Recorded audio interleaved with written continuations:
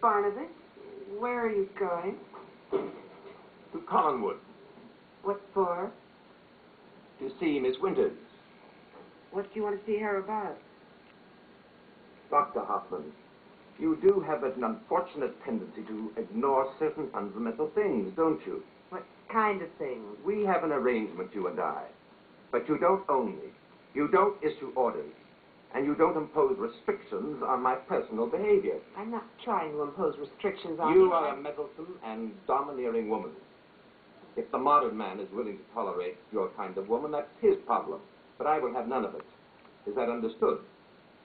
I believe you made the point. Why did you want to see Mr. Collins? Well, to find out if he knew anything about her. Oh, well, I can save you some time. I've already spoken to him, and he knows nothing. Mr. Collins knows nothing. You know nothing. You know something, Doctor? You missed your calling. Yeah, you should have been a member of the diplomatic corps. Because you're a master of the evasive answer. Hey, Sam! Yeah, I'm sorry, Doctor. He's, he's upset. I'm sure he didn't mean that. I understand.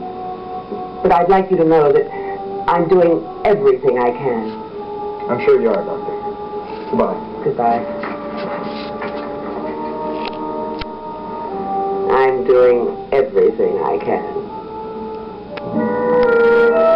I don't know the truth, and I never have.